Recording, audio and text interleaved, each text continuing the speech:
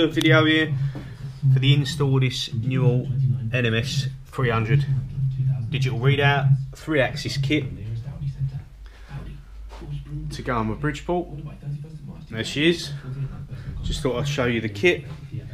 So this is where I got it from, machine machinedro.co.uk.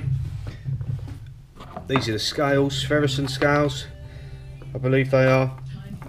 Three of them.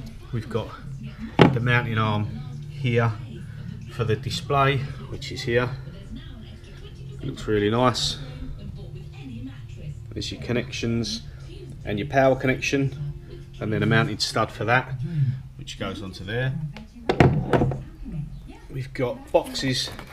That's just nuts and bolts. You get one pack for each scale. I'll just open them up and put them all in there.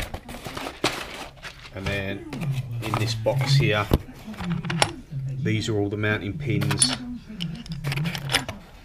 and holders, etc. For the scales, there's enough there for all three scales. I'll show you the scales. Here's one of them. This is the shorter one for the wire. So they're completely sealed. I think they've got ball bearings in them. And they read off the bearings inside somehow. I'm not sure how it works exactly, but it works. And then, yeah, this one's for the wire. So we'll be mounted along there somewhere as we can. Put that back there. And then these are the brackets. Now I've got two lots of brackets here because this lot come with a kit. This first one, and from watching other people's videos, like Adam Booth, Abom79, he done an install on a, there's a different maker milling machine, but it's just still Bridgeport clone, and it's a slightly different DRO, but it should be the same brackets. And he had this type of bracket with a radius. Now I didn't get these, I got this with the kit, and after looking on Newall's website I noticed that I had the wrong brackets because on their website they've got installation instructions. And this is shown as the cross axis milling machines Spherosyn scales showing you these brackets with some angle and a spacer and mounting it on the underside of the edge of the saddle which I looked at and I attempted get you a bit of light in there but the underside of the saddle here this isn't very flat. Let's get this light somewhere better you can see it. That's not very good. Yeah this isn't very flat under here. So it's not the ideal mounting point because it's it may not look too bad but it's angled. Anyway so I phoned them back and said that's the wrong kit. And they said, no, it isn't. And then I went on the website, showed them their own photos, and oh, yeah, yes, it is. So then they sent out this bracket. So you have this one here, which will mount. Probably can't see that very well, but it'll mount on the side there. And then your reader head will come off of here.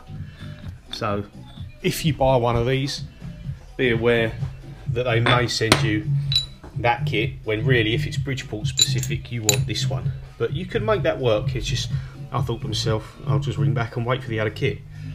So yeah you see the differences. They're generic brackets to their Bridgeport versions.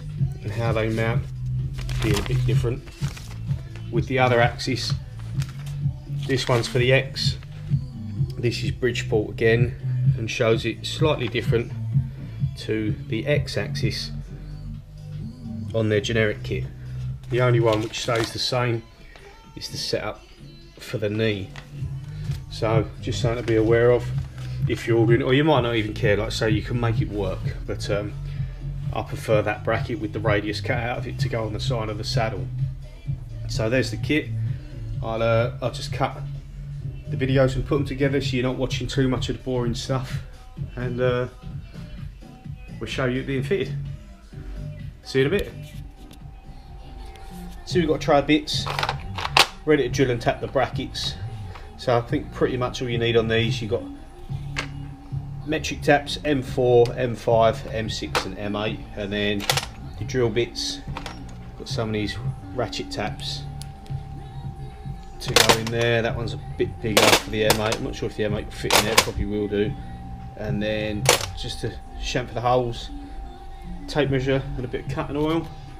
And then, yeah, we'll get ready to put this bracket on there like so. But do yourself a favour and move this right out of the way. Because you've got to get under there with your drill. To centre punch and drill and tap. That there.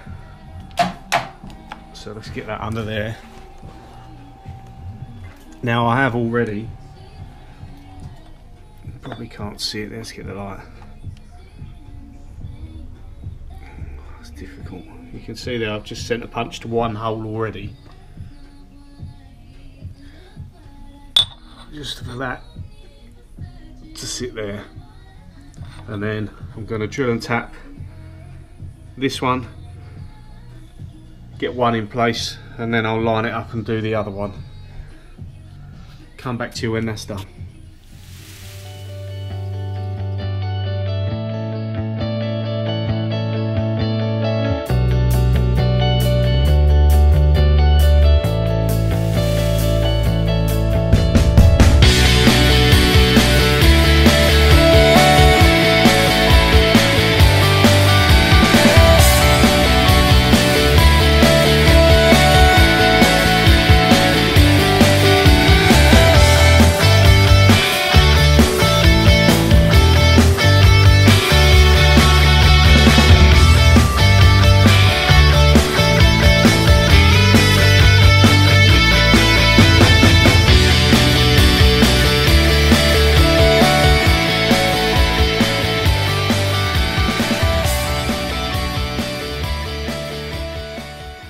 Right, so we've got the saddle brackets mounted and the reader head on there.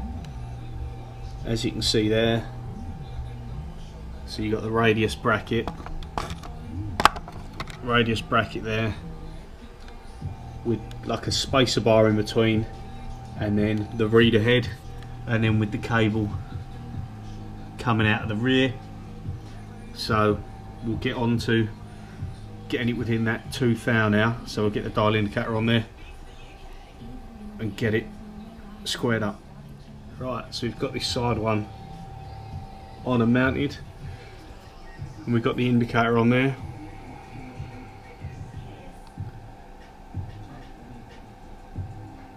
So we're on zero there.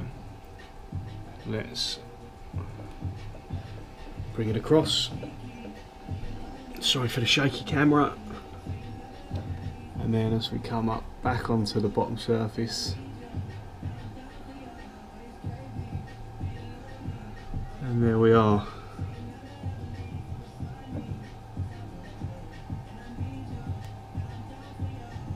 That's half a foul. It says they're machine surfaces they're not really but that's what it's telling you to go off in the guide. It tells you to go off them bottom pieces on these ones. It's saying to go off of the black part so yeah. We can test off of them faces and tolerance was 2 thou and that's within half. Can actually if you go just on the edge it will go there. So show you back to the other side quick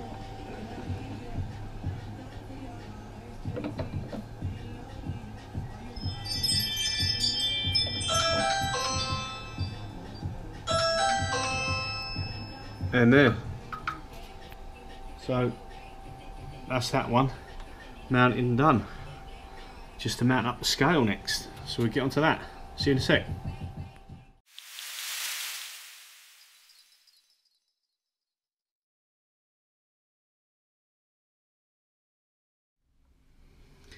So I've got the scale bar rested inside the reader head there and I've put this side in. Now I did already have this drilled and tapped hole just underneath there because this mill come with one scale on the Y. So it obviously had a kit in the past, been taken off, damaged, not used, but it didn't come with the digital readout. Display, it didn't come with the brackets, it just had the one bar attached to it. So I couldn't quite use that hole unless we dropped this here so I've just done another one. It's not going to make any difference it doesn't really bother me. So that one's loosely fitted. Now we'll come along here and we'll get the other one in place as well. Drilled and tapped 8 mil. But so we run the table all the way to the back of the knee and this is roughly where it's sitting so the other one, I've just done it so this was flush. So that's mounted there. I'll give this about the same gap as the other end. These are all pretty much the same. You can't really go far wrong mounting them. Again, you can see the hole from the old reader that was on here when I got it. And we are just slightly out of line. So we'll put a new one in there things with this. I didn't have a centre punch to fit this but what I did have was this bit of alley tube which fits in there perfect like so. And then I had this centre punch which is slightly too small which then works out to be a perfect fit. So that's how I'm using it makes it easy for me. So I'm going to centre punch this. Punch a new hole in here drill it tap it and get this one loosely bolted up in place. So we drilled it and now we're just going to run a tap in there. Try and level it up. Keep it straight and level as we can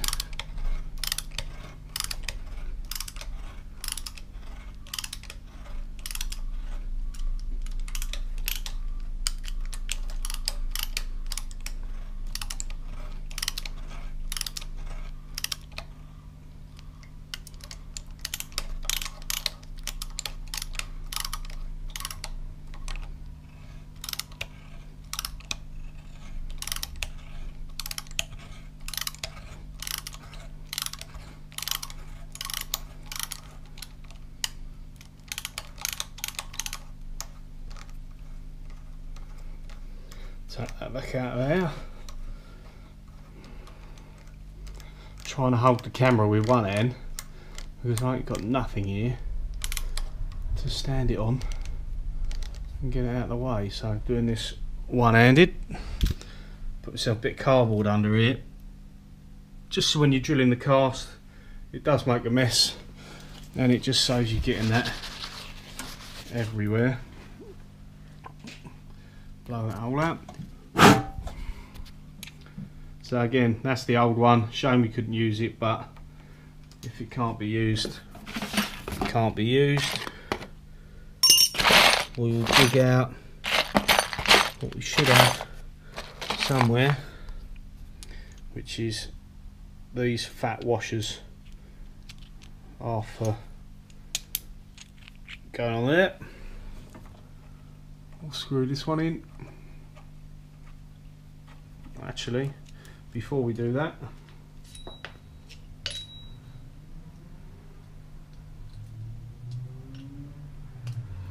we will put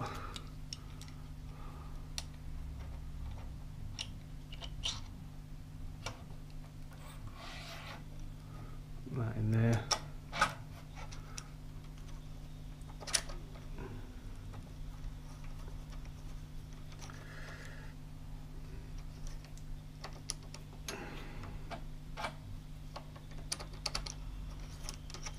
then run that in there like so. Just sits out enough on that to still still allow us to get a spanner on it. Tighten that up and that's all loose and now we'll run that back and forward till it's in the right place and we can snug up all the eight mils tighten them up and then that one should be good. Run the table back and forwards once they're tightened to make sure it doesn't feel like it's binding. Because if this is running off to one side and it's not level obviously it'll be okay one end and as you come to the other it's going to tighten up as the bar's pulling in. So we'll just double check that. And once that's good that's that one done. On to the next one. So we're on this side. Is done and mounted. That's all tightened up that's all good. Ignore the cable because obviously we ain't done nothing with the cables yet. But that side is good. Got a bit of clearance under there. So now for the guard or for the shield it's not going to rest on that. I'm going to sit it just a tad higher. So it's just got the clearance under there that you can see. But I'm going to have it roughly level with the end there. So I'm just going to drill a hole here mark it mark it drill it and then do the same the other end. Then I'll mark the casting and I'll mark it in here drill and tap it and do the same thing. And then I'll uh, I'll bring you back when that's done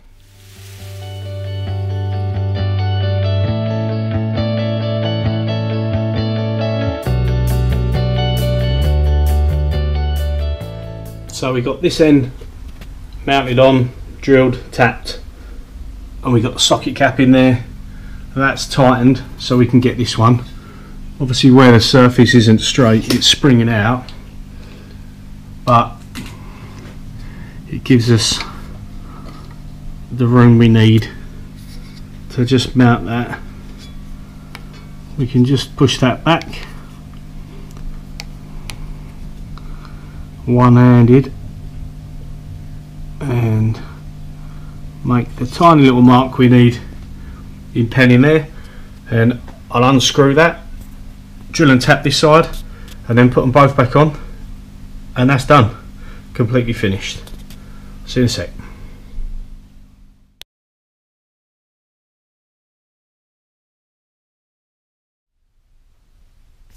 So we're back and that is the y-axis done. All mounted up. The guards all on which is nice and flush with the ways but just not enough so it doesn't touch or scrape or anything like that. So all fitted. There's this end. Reader head mounting brackets. Come around to the front.